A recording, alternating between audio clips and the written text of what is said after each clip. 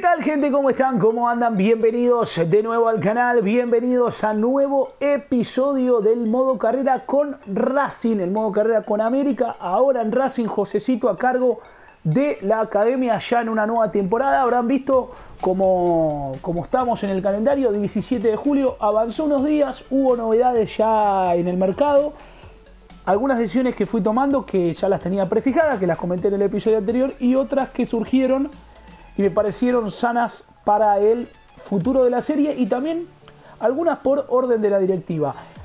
Porque me piden cosas y yo para eso necesito vender. Gracias primero que nada por eh, la gran cantidad de comentarios que me dejaron en el último episodio. Casi todos lógicos y eso la verdad es que me gusta y mucho. Ahora voy a explicar lo que dije de la directiva porque, eh, bueno, me pide algunas cositas y tuve que hacer algunas ventas que no estaban eh, previstas algunas que puedo llegar a cerrar y que bueno, en definitiva son decisiones que uno tiene que tomar y que tampoco me parecen que estén eh, tan descabelladas. Con respecto a los movimientos que ya hubo, miren, vendí a Acosta, el arquero del español, eh, al, español, el arquero argentino, ex Belgrano al español, 9300, se confirmó esa venta. Cedí al juvenil eh, Julio Carvajal porque me pedía más protagonismo prefiero darlo a préstamo un año al Vitesse para que no, se enoje y pueda seguir creciendo allí. También, eh, bueno, me llegó una oferta que consideré muy buena por un jugador que hoy lo tenía como relevo, Santiago Colombato. La verdad no rindió tanto y venderlo por 18.500 me pareció una muy buena decisión. Es una opinión personal, no estaba mal, no hay creo que un, un pedido muy lógico para que esté en el club, así que vendido también y me llegó una oferta por Tomás Sandoval del Sporting de Portugal, 15 millones y medio. Esta oferta, yo la verdad es que cuando me llega no la tuve muy en cuenta, pero eh, estuve revisando el pedido de la dirigencia con respecto a los objetivos, que de hecho los tengo que mejorar. Tengo 66 y estoy bastante, bastante bajo. Bajo, digo. Lo que, lo que respecta a la fuerza básica es muy complicado. Sí tengo que firmar dos jugadores y hacerlos crecer, así que los voy a entrenar muchísimo a los que ya tengo en la cantera eh, para, que mejoren. Eso por un lado. Con respecto a la exposición de la marca, acá entra lo de Sandoval, eh, porque me piden contratar un jugador titular crucial o fundamental para que sea delantero, junto con Carranza. Entonces ahora le voy a contar las dos opciones que estuve encontrando. Bueno, después me pide llegar a las semis de la, de la Copa a largo plazo, ganar el título de la Superliga, que va a ser uno de los objetivos, además es prioridad crítica esta y quiero cumplirla y bueno, eh, por ahora venimos bien con el tema de las ganancias, tengo que terminar con el presupuesto por encima de 23 millones y hoy lo tengo en 44, o sea que tengo, vamos a decir, 21 para gastar, pero todavía con algunas cositas por vender. ¿Por qué digo vender?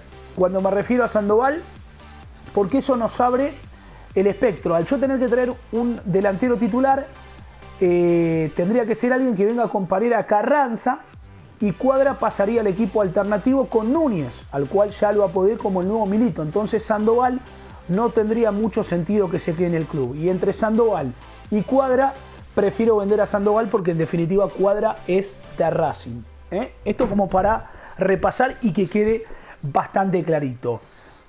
Con respecto al equipo, muchos me dijeron, me dieron opciones de que Acuña lo meta por derecha y Centurión por izquierda. Otros me dijeron que lo meta de doble 5, Saracho a la derecha y Centurión a la izquierda. Son todas opciones válidas. Y otros me dijeron que lo ponga Acuña de lateral izquierdo.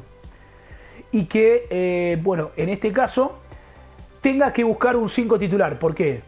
A ver, lo quiero hacer así y, y no quiero perder mucho tiempo, aunque hoy por ahí el episodio va a ser un poquito más largo como siempre son el de las negociaciones. Al hacer esto así, yo tengo que buscar un 5 que sea titular, ¿no? Que Acuña quede de lateral, con mucha subida, que Centurión vaya a la izquierda, que es donde más rinde, que Saracho vaya a la derecha y entonces tenga que traer un 5 para ser titular.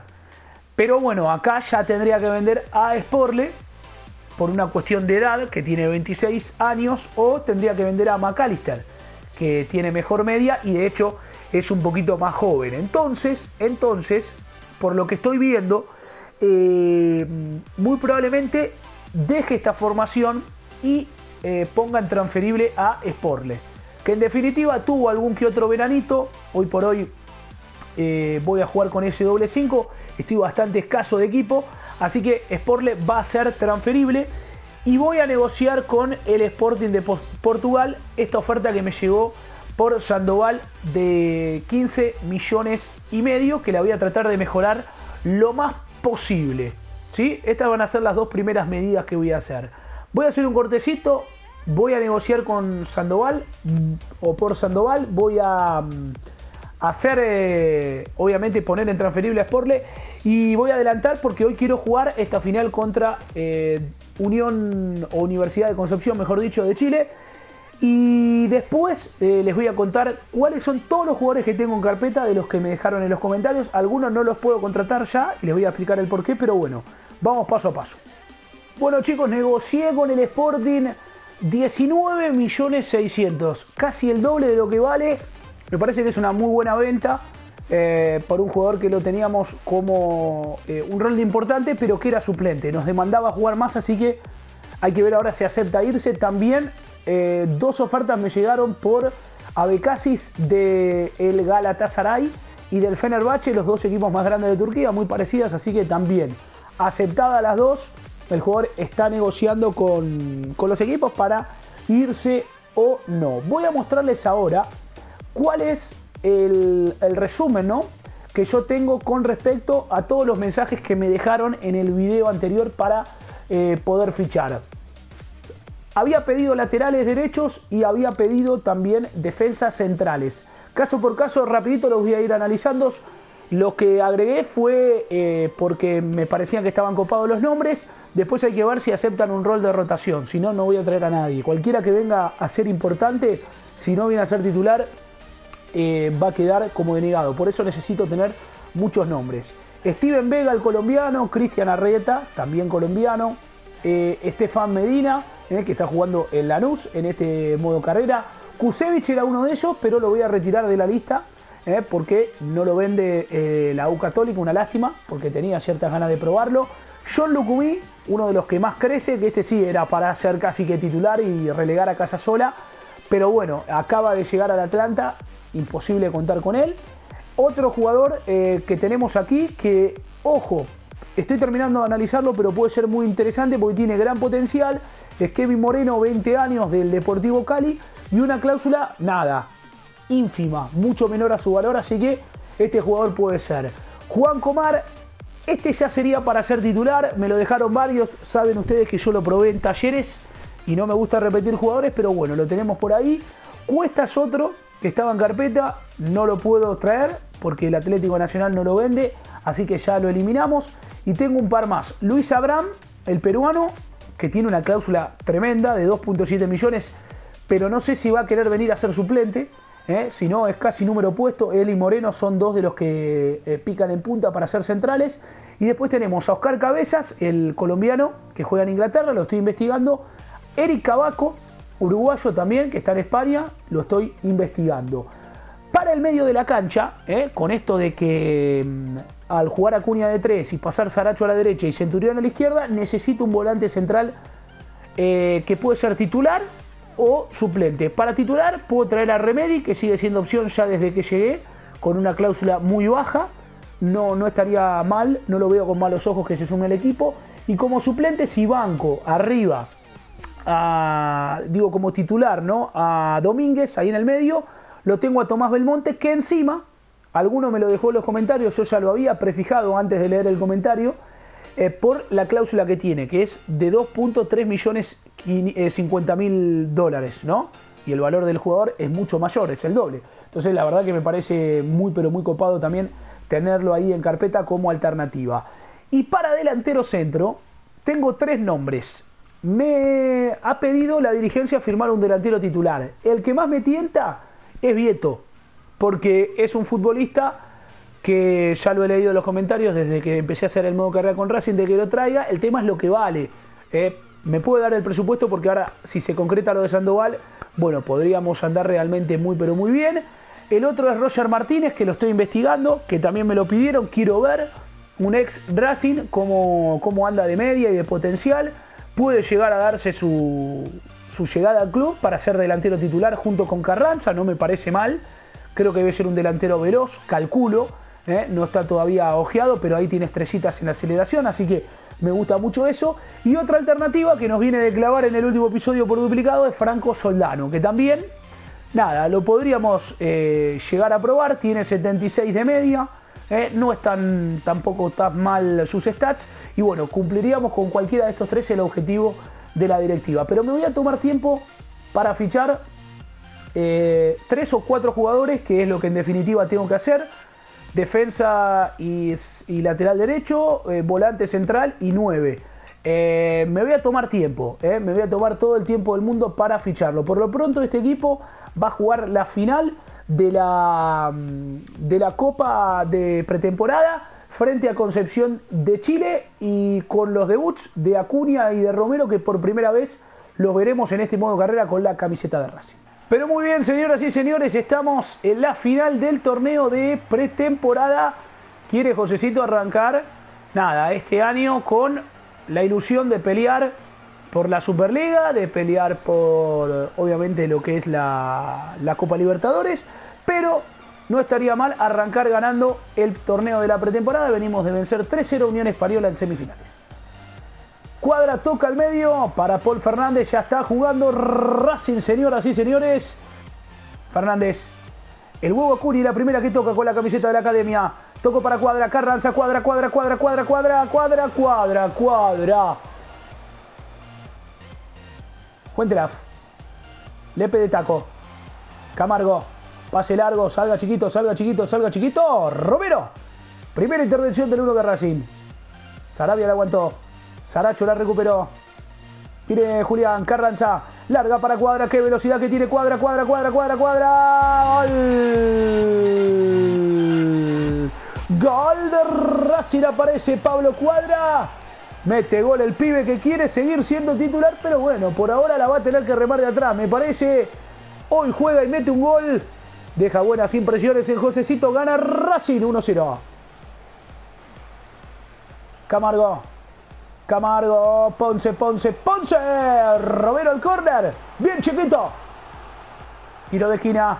Viene Rivero. Ponce. Gol de Concepción. Se lo peinaron en el primer palo a Romero. Y el partido está 1-1. Bien Centurión. Bien Centu. Bien Centu. Viene Fol. Fernández. Al medio cuadra de zurda. Las manos del arquero. Arriba va Núñez. La peina el pibe. Juega Lepe. Núñez que la toca de atrás. Domínguez la limpia. Mancilla. Viene Brian. Pasó por la izquierda Cuña. Le va a dar mucho volumen de ataque el huevo. Viene el centro. Puede ser a Núñez. La paró. Le pegó. Dio en el poste. Dio en el poste la volea del pibe Núñez. Juega ahora Espirosa. Espirosa. Sigue Espirosa. Va Cristian. Va. Llega hasta la línea de fondo, otro centro. Domínguez, gol. Gol de Racing Domínguez. No lo tenía nadie, Nico en el área. Aparece el 5, el ex Vélez. Arriba Racing 2 a 1. Centro hermoso de Espinosa. Todos apuntaban a Núñez. Finalmente Domínguez mete ventaja 5 del final para la academia. Dejó para Centurión. Final de partido, victoria de Racing que se queda con el torneo de pretemporada. Le ganamos 2 a 1 a Universidad de Concepción.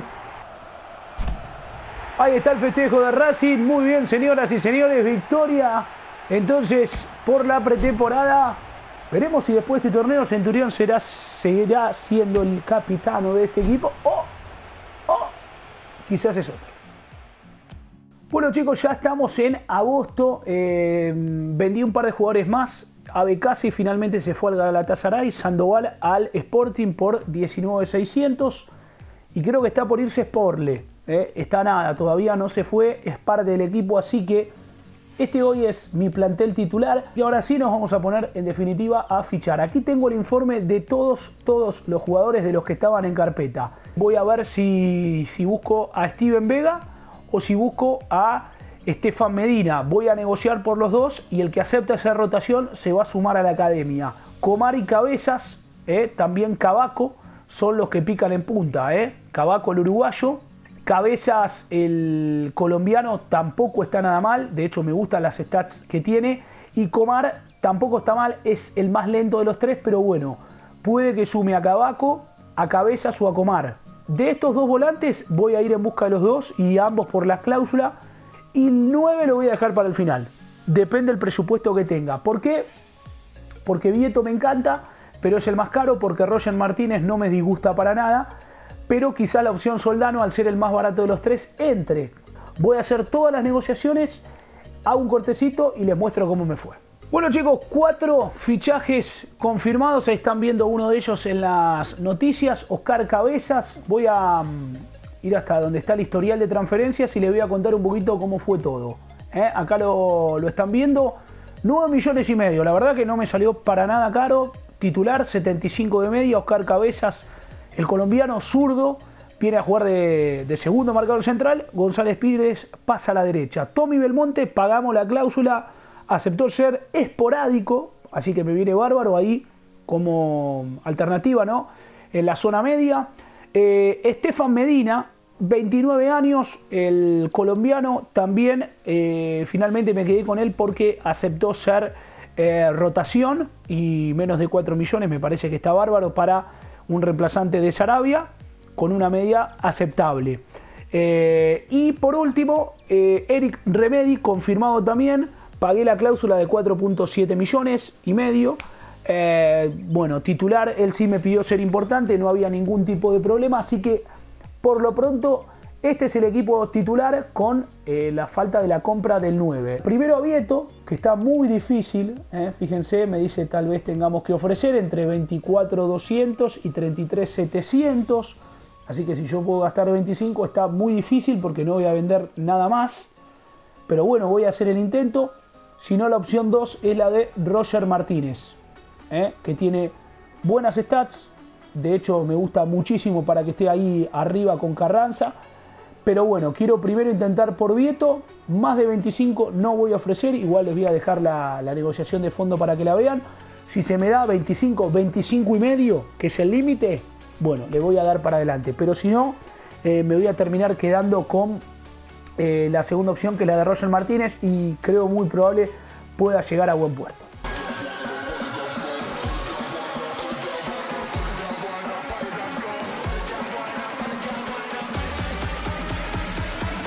Bueno chicos, ahí lo vieron. Creo que se han sorprendido como yo porque la expectativa era distinta. 22.900 finalmente cerrado con el Atlético Madrid el fichaje de Luciano Vieto para que pegue la vuelta con 27 años y trate de ganar la Copa Libertadores y vamos a negociar el contrato con el jugador. Le voy a ofrecer 80 para, para estar seguros. Es una oferta justa, mi cliente está contento. Señoras y señores, Luciano Vieto se suma a Racing para jugar entonces la próxima temporada, para jugar la Copa Libertadores con la Academia. Así que nada, gente, aquí lo vamos a dejar al episodio del día de hoy. Todavía queda agosto. Eh, vamos a estar debutando ante Belgrano el 21, ante Tigre jugaremos el 27 la fecha 2, ambos por Superliga. Lo vamos a estar viendo en el próximo episodio con algún otro partido o con el final del mercado de fichaje. Gente, gracias por haber estado al otro lado, espero que lo hayan disfrutado. Suscríbanse al canal, activen la campanita de notificaciones, déjenle un buen me gusta al video que ayuda realmente muchísimo, muchísimo a la difusión. Con esa imagen, la de Lucianito Vieto, vistiendo de nuevo los colores de Racing, nos despedimos. Espero que lo hayan disfrutado. Nos vemos la próxima. Chau, chau.